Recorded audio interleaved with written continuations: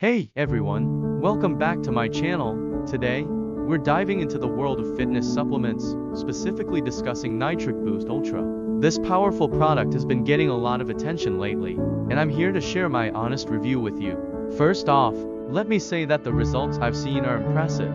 Nitric Boost Ultra has truly helped improve the size and hardness of my muscles, and let me tell you, that's no exaggeration. My gains have been real, and I can't help but feel proud of the progress I've made. Now, on to the taste. While some might find it a bit strong, I actually quite enjoy the strong taste of this supplement. It adds a little something extra to my routine that I appreciate.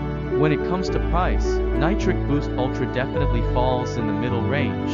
It's not too expensive, but it's also not the cheapest option out there. However, considering the results I've seen so far, think it's worth the investment. As for my final verdict, I can confidently say that this product has earned a spot in my supplement routine and highly recommend giving it a try for yourself.